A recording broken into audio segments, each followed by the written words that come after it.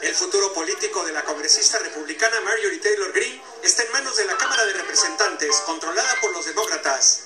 Mañana decidirán si la expulsan de los comités que le habían asignado tras la indignación que ha provocado su respaldo a teorías de conspiración falsas. Y según el demócrata Jim McGovern, por incitar la violencia, por estar de acuerdo con un comentario en redes sociales que alentaba a disparar en la cabeza a Nancy Pelosi.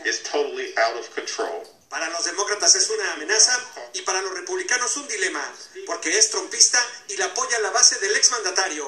Muchos republicanos, aunque coinciden en que esta congresista es irresponsable y debe ser sancionada, no se atreven a decirlo por temor a la reacción del expresidente. Tomando ese riesgo, hoy el líder republicano en el Senado dio validez a lo que dijo horas antes, que las mentiras lunáticas y las teorías de conspiración de Green son un cáncer para su partido. Y es que, entre otras cosas, calificó las masacres escolares de Parkland y Sandy Hook como montajes que nunca ocurrieron. La congresista también ha recibido duras críticas después de que resurgió un video en el que aparece acosando a uno de los sobrevivientes de la masacre que se produjo en esta escuela en Parkland, Florida.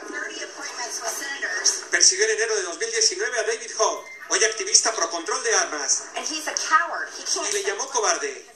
En las últimas horas, Marjorie Taylor Greene ha cambiado el tono y admite vagamente que las masacres sí sucedieron. Para la mamá de un estudiante que murió en Parkland no es suficiente.